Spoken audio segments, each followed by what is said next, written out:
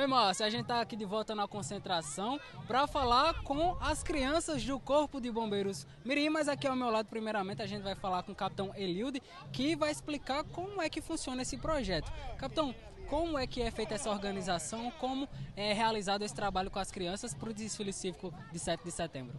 Olá, o pessoal aí do, do blog, Márcio Angel, né, sempre com a gente.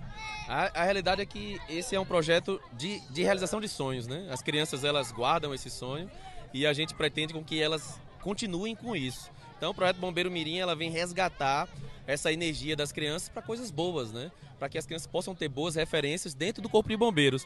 E como vocês podem ver, tá funcionando, né? Lá elas aprendem resgate, elas aprendem é, a trabalhar a questão de animais peçonhentos, aprendem os cuidados caseiros, caso alguma algum familiar deles passem mal. Então, é um projeto bem interessante que com certeza a gente vai continuar por muito tempo aí em Campina Grande.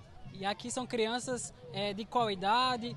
E como elas também podem participar desse projeto? É, são crianças de 8 a 12 anos de idade das comunidades de Campina Grande, né? São, os crianças, são crianças que já são atendidas pelo CRAS, tem um acompanhamento no CRAS e a gente acolhe também, né? Já que elas têm essa espécie de vulnerabilidade para que elas não fiquem à tarde ali assistindo televisão, em frente a uma tela, perdendo tempo e aprendendo coisa que não presta.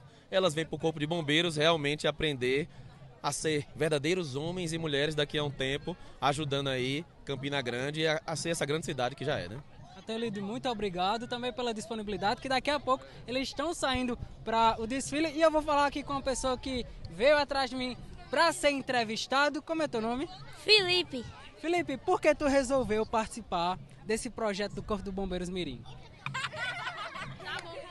É o seguinte, eu tava lá, né? Aí, meu pai é bombeiro já. Aí eu sempre aqui, né? Desde pequenininho eu via, eu sempre ia pro quartel e via as pessoas fardadas de bombeiro mirim.